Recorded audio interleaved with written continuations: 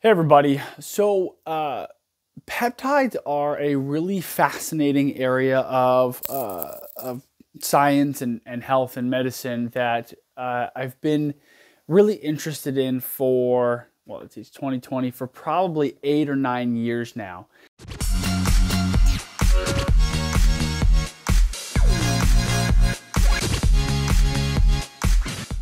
And which is if anybody uh, kind of knows my timeline in history that is well before i even uh, started uh, naturopathic medical school. But i wanted to take a moment to talk about a peptide that i haven't really talked uh, a lot about uh, through video uh, and other digital channels. Um, and i'm actually not sure why because it's actually the the first set of peptides that actually uh, I got introduced to and started researching and really experimenting with, um, and what I probably have the most experience with, uh, both personally and clinically, and that's the growth hormone secretagogues.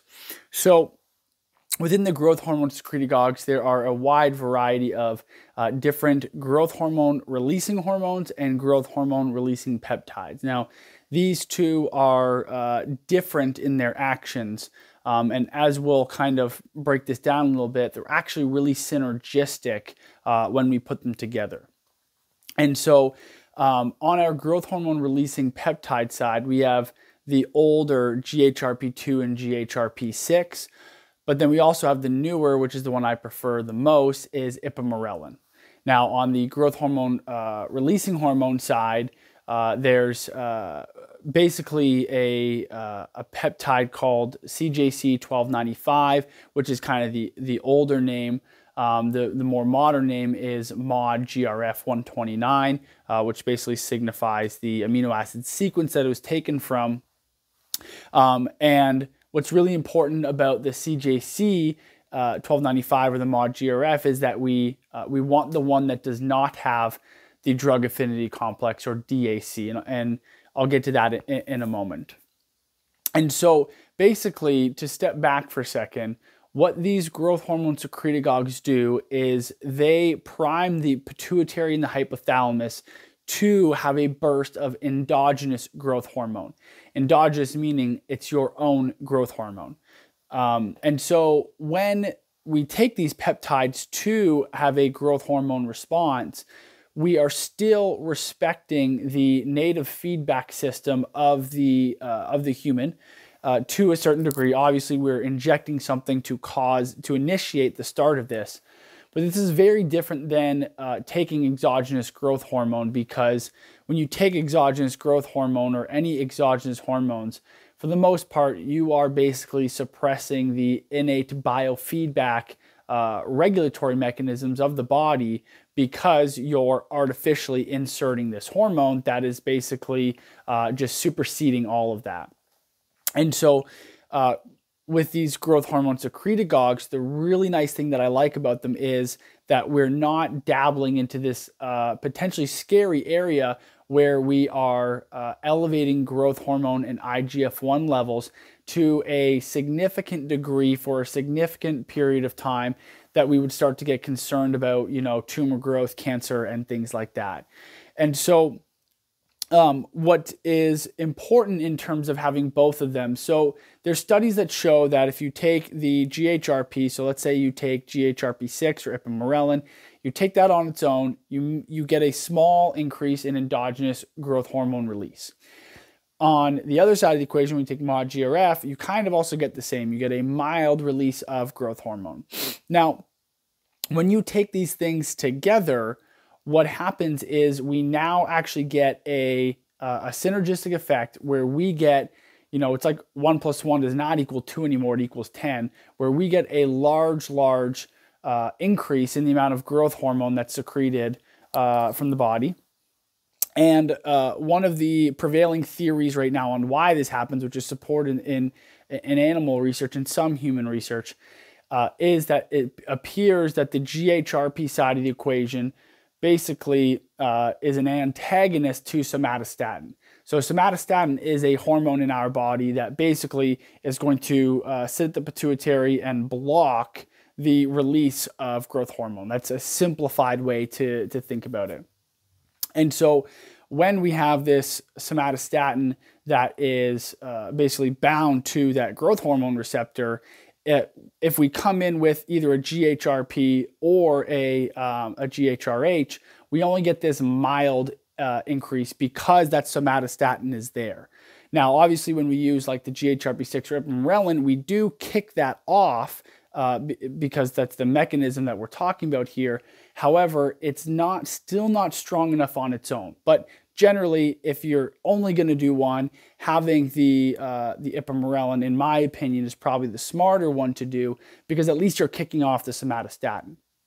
Now, in uh, in more so in men, but also in women, but more so in men, um, our uh, circadian rhythm release of growth hormone is cyclical, meaning we have these these periods where we have a growth hormone burst, and then somatostatin goes back onto the growth hormone receptor, and then that growth hormone level stay, stays low. But that growth hormone goes throughout the body and basically uh, goes to the liver and different cells, and it basically causes IGF 1 to be released, uh, produced and released.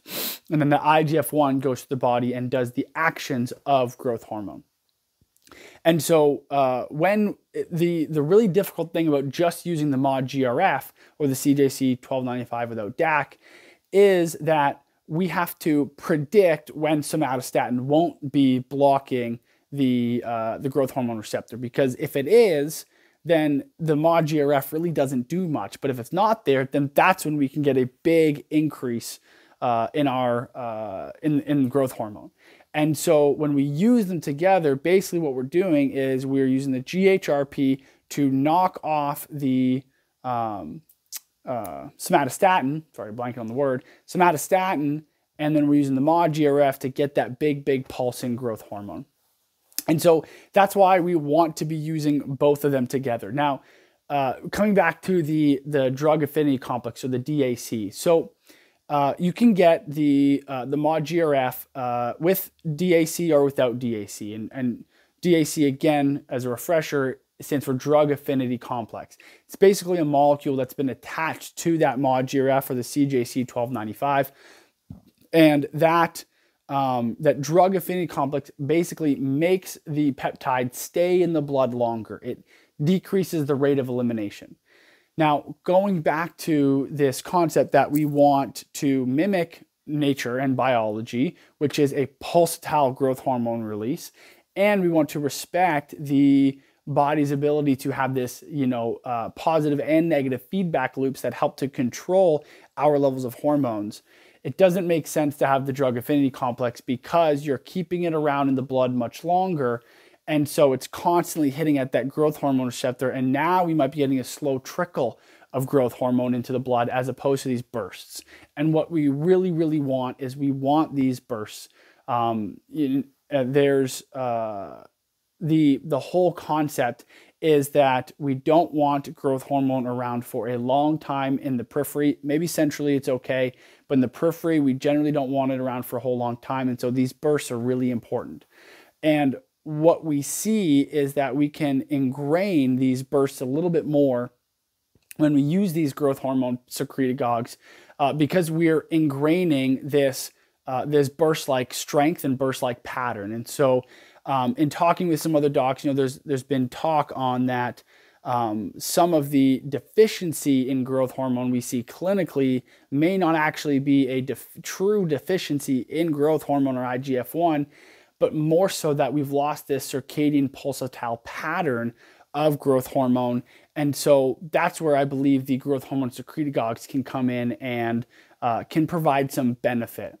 So um, I know I was kind of all over the place, seeing as this is the first uh, video that I kind of did on the growth hormone secretagogues, but um, I'll try to refine my my kind of thinking on all this to be a little more direct in the future. But I hope you appreciated it. If you've used or you have any insight on the growth hormone secretagogues, do uh, leave a comment below and uh, we'll get to it. All right, see you later.